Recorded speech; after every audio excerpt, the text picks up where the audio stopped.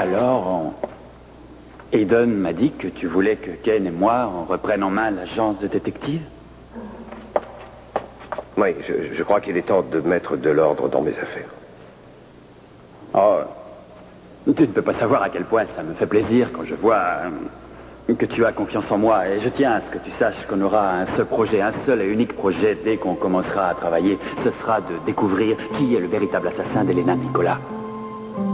Merci, Pearl. Euh, seulement tout le monde sait que c'est toi le détective, c'est toi le vrai détective. Et il va falloir que tu sortes d'ici.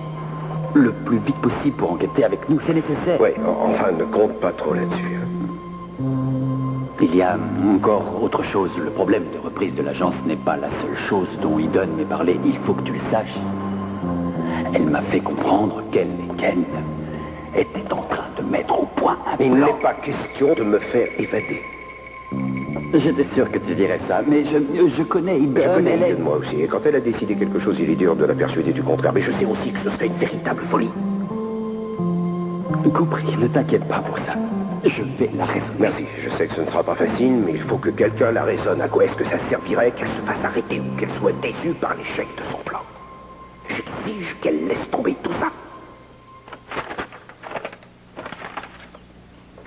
Ça ne sera pas facile, mais je crois qu'avec Pearl, on devrait arriver à tout mettre parfaitement au point. Oui, je le crois aussi. Dans mon esprit, il n'y a aucun doute.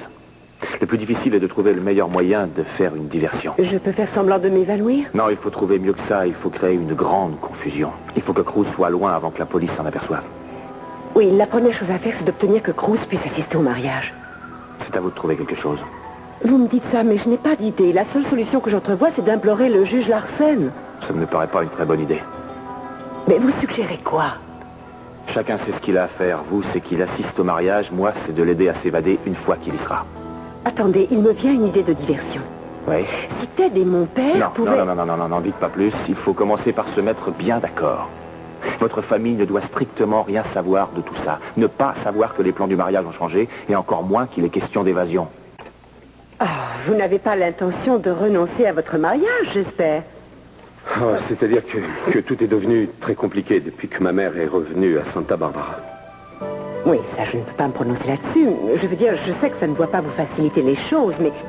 Mais s'il y a quelqu'un qui se doute de ce que vous ressentez, c'est moi. Avec Rose, on avait envisagé d'aller se marier à la montagne pour éviter tous les problèmes.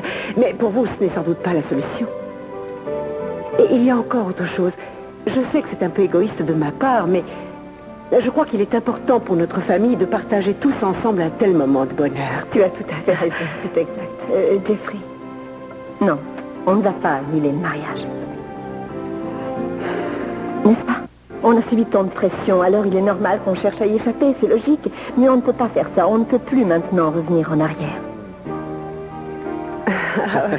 Merci, mille fois. Et toi, ça va bien?